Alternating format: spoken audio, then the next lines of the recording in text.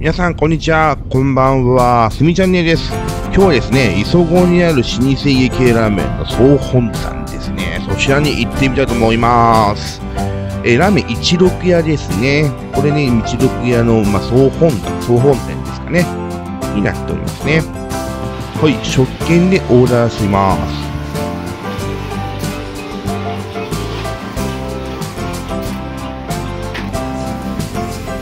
はい、卓上はこんな感じなんですけど、これ一番左のしびれって何ですかね？これ使えばよかったなちょっと 使わなかったんで、今度使ってみたいと思います。でですね、スープには本物の豚骨の生柄を使用していると、これはですね、店員さんもですね、あの自信を持ってお話しされておりました。はい、私がオーダーしたのがですね、なんとね、塩チャーシュー麺なんですね。醤油ではなく塩チャーシュー麺にしました。後でその理由があるので言ってみたいと思うんですけれども、いや、やっぱ一六野菜はこううずらですよね。美味しそうですよね。そしてこのネギ丼。これもね、後でちょっと語りたいと思うんですけどもね、あの、やっぱいろいろ思い出があるネギ丼なんですよね。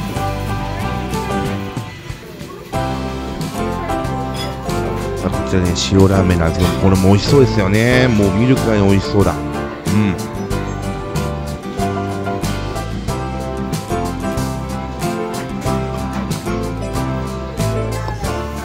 はい、ではいただきます。で、まず最初に私が今回塩味にした理由なんですけども、まあそんな話聞いて全然興味ねえよっていう人のが多いかと思うんですけども、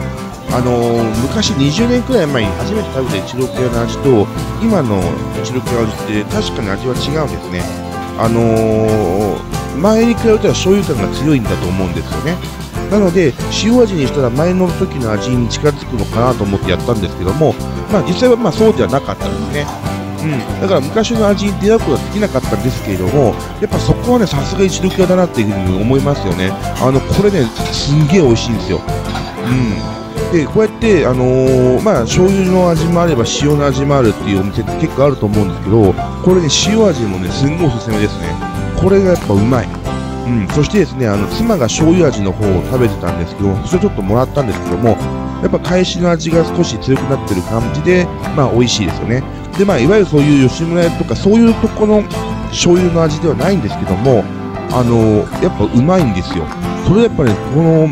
ね、あの長年やってきているからこそ、やっぱり美味しいスープっていうのは作ってくるんですよね。これさすがだなってやっぱり思いますよね。実際お客さんもね、あの相変わらずいっぱい入ってますし、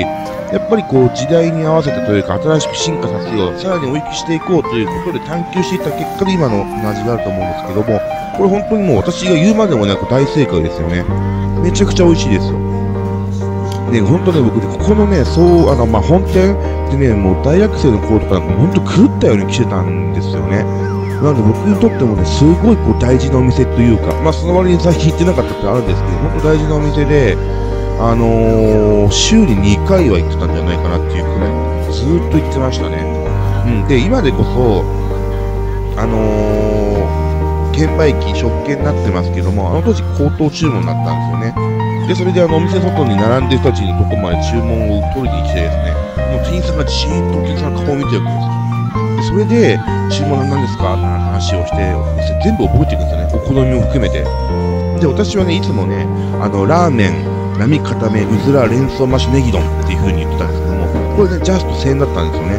っていうのもあったんで、毎回これ頼んだらですね、もう私がもう注文する前に、それを自分のように言ってくれてたんですね。ラーメン、うずら、ごめんなさい、ラーメン、並固め、うずら、連想マッシュネギ丼ですよね、とか言ってくれたりとかするくらい、あのー、ここのお店とは親しくなってましたよね。あの時の店員さんがどこにいるんだろうっていうふうに思いますけども、まあ、あの頃知り合った、